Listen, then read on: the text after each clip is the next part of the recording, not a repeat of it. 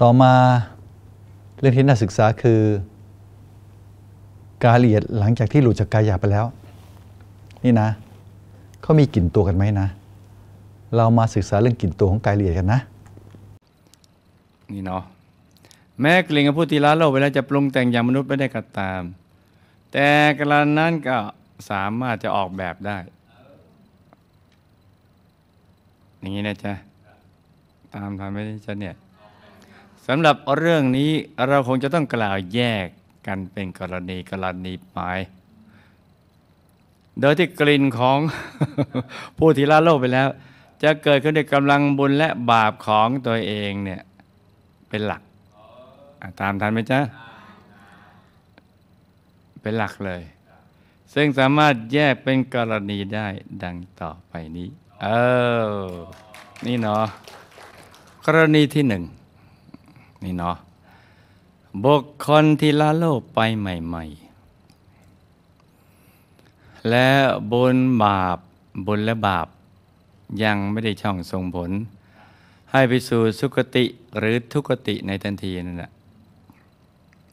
กลิ่นของกายละเอียดของบุคคลนั้นเนี่ยก็จะคล้ายๆกับกลิ่นของเขาในสมัยที่ยังมีชีวิตอยู่ แต่ในเวลาต่อมาเนี่ย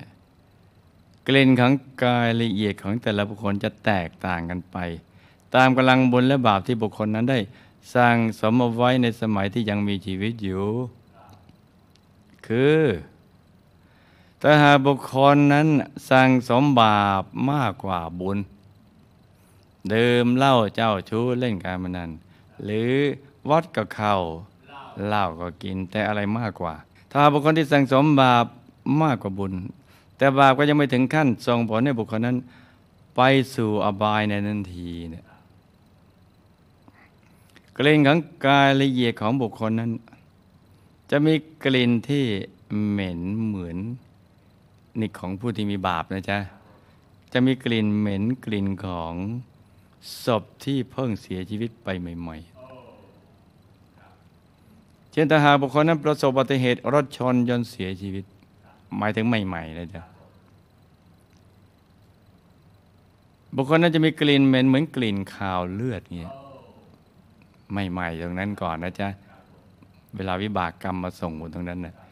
แล้วหลังจากนั้นค่อยว่ากันอีกทีหนึ่งอย่างนี้ตามทันไหมจ๊ะถ้าบุญมาส่งผลก็เปลี่ยน ใหม่ๆจะมีกลิ่นเหมือนคาวเลือด ถ้าเสียชีวิตโดยมีอาการปกติ ที่มีบาปมากกว่าบุญนะจ๊ะบุคคลนั้นจะมีกลิ่นเหม็นเน่า ถ้าบาปมากกว่าบุญ นี้นะ เห็นไหมจ๊ะบุญบาปนี่เรามองข้ามไปไม่ได้หรอก ต้องศึกษาเรียนรู้ไว้ ศึกษาแล้วเราจะเอาไม่เอาอีกเรื่องหนึ่ง ไม่เชื่อก็ไม่เป็นไร เราก็ควรจะศึกษาไว้ มีความรู้ไว้บ้างอย่างนี้นะจ๊ะแต่ถ้าหากบุคคลได้สั่งสมบุญไว้มากกว่าบาปคือบุญทำเยอะถอดกระถินถอดป่าทำอะไรเยอะแยะ แต่ก็บาปแค่บี้มดตบยุงอะไรเนี่ยสั่งสมบุญไว้มากกว่าบาป แต่บุญยังไม่ถึงขั้นส่งผลให้บุคคลนั้นไปสู่สุคติในทันทีนั้น กลิ่นของกายละเอียดของบุคคลนั้น ก็จะมีกลิ่นหอมที่แตกต่างกันไปตามกำลังบุญ ซึ่งถือว่าเป็นจุดหลัก และตามความคุ้นชิน หรือตามจิตใต้สำนึกที่บุคคลนั้นเคยได้ยินได้ฟังมา ในสมัยที่ตัวเขายังมีชีวิตอยู่ เช่น กลิ่นทูบกลิ่นกำยาน หรือกลิ่นดอกไม้ของหอมต่าง ๆ เป็นต้น และในบุคคลที่เคยถวายทายธรรมของหอมไว้ ในสมัยที่ยังมีชีวิตอยู่ เช่น เคยถวายดอกมะลิ ถวายดอกบัวบูชาพระรัตนตรัยเป็นต้น เมื่อบุญส่งผลมากๆเขากลิ่นของกายละเอียดของบุคคลนั้น ก็จะสามารถแปรเปลี่ยนให้หอมมากขึ้นไปกว่าเดิมได้ ตามทันไหมจ๊ะ ช่นบางคนที่เคยถวายดอกมะลิ กลิ่นของกายเอียดของบุคคลนั้น ก็จะมีกลิ่นหอมคล้ายๆกับกลิ่นของดอกมะลิ หรือบางคนที่เคยถวายดอกบัวบูชาพระรัตนตรัยกลิ่นของกายละเอียดของบุคคลนั้น ก็จะมีกลิ่นหอมคล้ายๆกับกลิ่นของดอกบัวเป็นต้น คือผูกพันกับอะไรมากก็จะไปอย่างนั้นก่อนสำหรับกรณีที่สองนั่นกรณีที่หนึ่งนะกรณีสองหลังจากที่บุญและบาป บุญและบาป นั่นตอนนั้นตายใหม่ๆ หลังจากที่บุญและบาปได้ช่องส่งผลให้กายละเอียดของบุคคลนั้น ได้ไปมาเกิดในสุคติหรือทุกติแล้วกลิ่นของบุคคลนั้นก็จะแปรเปลี่ยนไปตามภพภูมิต่างๆอีก ดังต่อไปนี้หนึ่งบุคคลที่ไปบังเกิดในทุกติ กลิ่นกายของบุคคลนั้นก็จะมีกลิ่นเหม็น ซึ่งความเหม็นนั้นจะทวีความรุนแรงมากขึ้นไปเรื่อยๆ ตามกำลังบาป ที่ตัวเขาได้เคยกระทำเอาไว้สมัยที่ยังมีชีวิตอยู่ ไม่ว่าจะรู้หรือไม่รู้ก็ตาม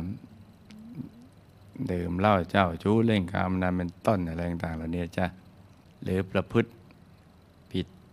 ศีลห้าข้อนะนะจ๊ะ ซึ่งพระเจ้าทำไม่ได้ออกกฎนะ แต่กฎแห่งกรรมเขาบังคับมาอย่างเงี้ยแต่ท่านไปเห็นจึงเอามาเล่าให้ฟังมาสั่งสอน ใครเชื่อก็ได้ไม่เชื่อก็ได้ท่านก็ไม่ว่าอะไร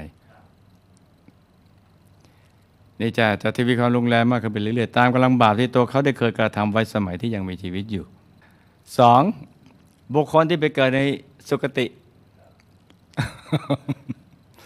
อาสันนิษฐานที่จะว่า กลิ่นกายของบุคคลนั้นจะมีกลิ่นหอมถูกต้อง แต่ความหอมก็จะแตกต่างกันไปตามลำดับภพภูมิ และกำลังบุญที่ตัวบุคคลนั้น ได้เคยสั่งสมเอาไว้ นี่นะเเช่นชั้นจตุมหาราชกาก็จะหอมกว่าอากาศเทวาลูกเทวาภูมะ ก็จะไล่ลงมาอย่างเงี้ยชั้นดาวดึงก็จะหอมกว่าจตุมหาราชิกา ขึ้นไปเรื่อย แต่ความหอมก็จะแตกต่างไปตามลำดับภพภูมิ และกำลังบุญที่ตัวบุคคลนั้นได้เคยสั่งสมเอาไว้ ถ้าบุคคลนั้นมีกำลังบุญยังไม่มากนัก และได้ไปบังเกิดในภพภูมิที่ไม่สูงมากกลิ่นกายของบุคคลนั้นก็จะมีกลิ่นหอมละมุนละไมและฟุ้งกระจองกระจายออกไปได้ในระดับหนึ่ง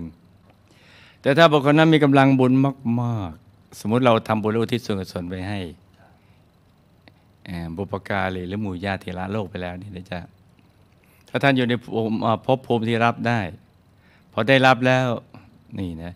นอกจากเทพยสมบัติและ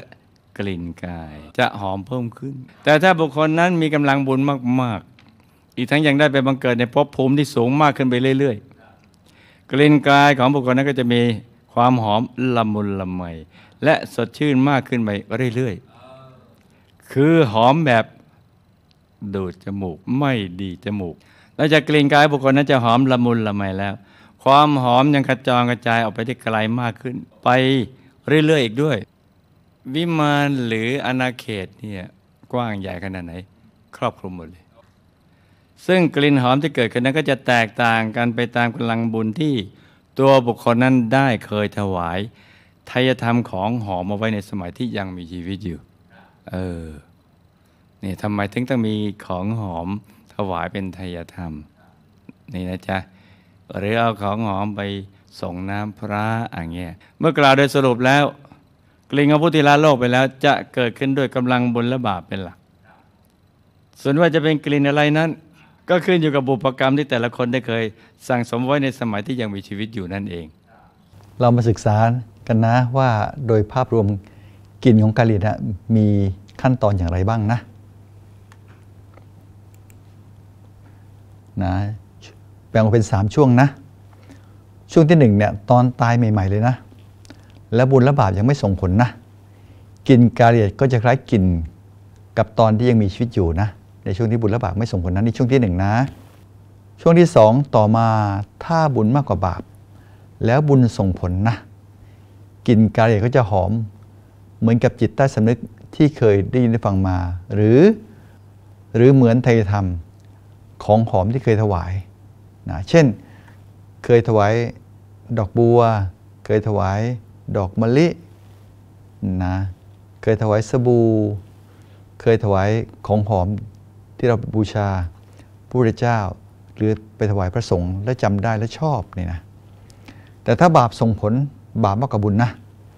กลิ่นกายก็จะเหม็นเหมือนกลิ่นศพนะอันนี้คือกลิ่นกายละเอียดนะกลิ่นกายละเอียดนะ เราไม่พูดถึงกลิ่นกายหยาบนะทีนี้ขั้นตอนที่ 3 เป็นขั้นตอนเมื่อเดินทางไปสู่โลกหน้าแล้วนะถ้าบุญส่งผลไปสู่สุคติ ไปเกิดบนสวรรค์ชั้นต่างๆกลิ่นกายจะหอมกุ้นไปเรื่อยๆ ตามกำลังของบุญนะแต่ถ้าบาปส่งผลไปสู่ทุกขติ ไปเกิดเป็นสัตว์เดรัจฉานเป็นอสุรกายสัตว์นรกกลิ่นกายละเอียด